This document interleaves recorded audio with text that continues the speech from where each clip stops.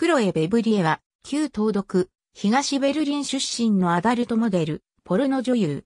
日本語では、クロエ・ベブリエや、クロエ・ベブリエなど、表記の揺れが存在する。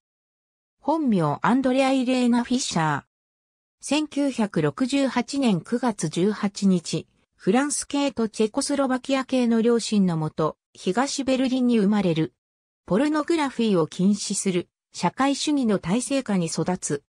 1980年代後半、東ベルリンの非合法ランジェリーショーで、モデルとしてのキャリアを開始。ほどなくして、非合法クラブのストリッパー兼モデルとなる。ベルリンの壁崩壊後、ロンドンに拠点を移しモデル活動を行う。1990年、ドイツの雑誌スターンに登場。1991年、日本のアダルト雑誌、バッチェラーに登場。この頃は、アンドレア・イレーナ・フィッシャーなどの名義で活動していた。1992年、クロエ・ベベリアの芸名使用開始。写真家のジョン・グラハム、ジョン・グラハムの元モデル活動を行う。バチェラーのビデオ撮影のために来日。1993年、雑誌スコアと D カップの表紙を飾る。1994年、雑誌ジェントホリデーの表紙を飾る。1995年、雑誌フォックス、スコア、ジェム等の表紙を飾る。1996年、雑誌ベロプテシュアス、フォックスの表紙を飾る。1997年、雑誌ジェント、スコア等の表紙を飾る。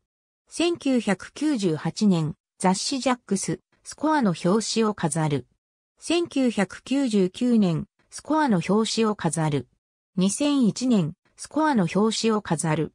2003年、公式サイト CHLOEVEVRYER.com を開設。ジャックスの表紙を飾る。2004年、ジャックスの表紙を飾る。2010年、日本のアダルト雑誌、バチェラーに登場。2011年、バチェラーに登場。3月21日、アダルトサイト、東京トップレスに、東日本大震災で被災したファンへの応援メッセージを寄せる。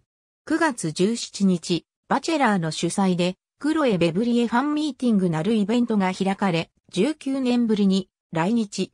2012年、バチェラーに登場。2013年、バチェラーに登場。2014年、バチェラーに登場。ベロプテシュアスの表紙を飾る。2015年、バチェラーに登場。2016年、バチェラーに登場。2017年、バチェラーに登場。特に断らない限り IMDB を出展とする。2002年、カメラマンのジェイソン・ドバート・セイフォートと結婚。2004年7月4日、クロエ・ベベリアの商標使用権をめぐって、某企業より、米国商標審判部に、審判の申し立てをされる。最初の数年間は、ビデオに単体で出演していたが、その後女性と共演するようにもなった。ナポーリースタジオの作品にも、バーウカやダンニ・アッシュなどの巨乳モデルと共演している。1990年代初頭には、ハードコアビデオ、バンコクバンガーズ及び、ハーストラバーズさんに出演したが、男女のセックスシーンには直接参加しなかった。その後、2本のハードコアビデオ、アルティメットクロエ、アルティメットアンコールに出演。その時に男性との絡みのシーンを撮ったことがある。その後再び単体、または女性同士の撮影に戻る。ありがとうございます。